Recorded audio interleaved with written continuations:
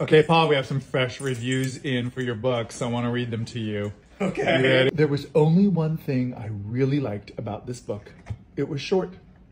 Aw, It's a great okay. review, you know. It is short. No long books, please. It is Keep short. I hate it. So boring. I fell asleep after the first page.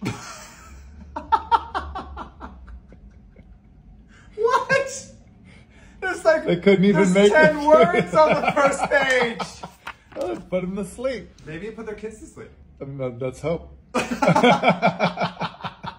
this book fell into my toilet and didn't dry well.